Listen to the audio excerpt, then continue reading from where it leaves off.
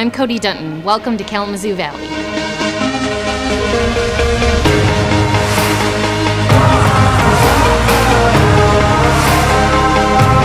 Welcome to Kalamazoo Valley. I'm Tawanda, and when you want to speak to a counselor, I'm the person you want to find. Hi, my name is Sarah. Welcome to Kalamazoo Valley Community College. The fitness center is free to students, so when you're ready to work out, come and see us. Welcome to Kalamazoo Valley.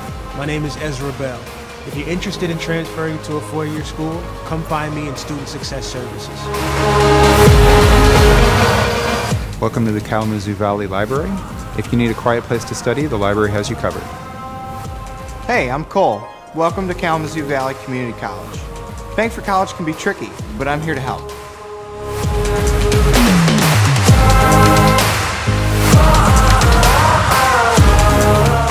Hi, I'm Rick Ives with KVCC's Public Safety Department. Welcome to campus. If you have any issues with locked out of your car, jump starts, lost property, please come see us. We're here to help you. When you need your password reset, you'll come and see me in the computer lab. Welcome to Kalamazoo Valley Community College. I'm Lindsay. If you need help updating your address, printing transcripts, or adding and dropping classes, come see us at the Admissions Registration and Records Office. I'm Ron Young. I teach business. Spent most of my life in business, find it fascinating and fun, and I teach from those perspectives. Hope to see you in class. Hey, I'm Coach Bridges. Welcome to Kalamazoo Valley.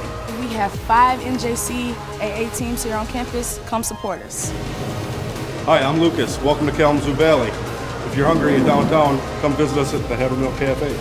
Hi, I'm Kevin Dodd, Pathway Advisor. Welcome to Kalamazoo Valley.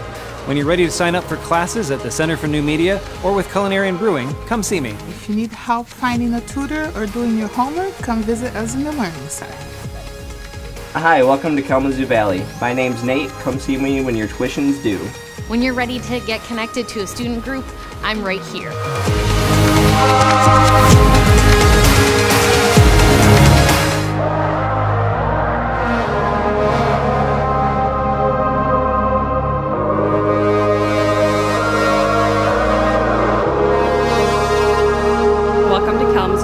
Welcome to Kalamazoo Valley. Welcome to Kalamazoo Valley.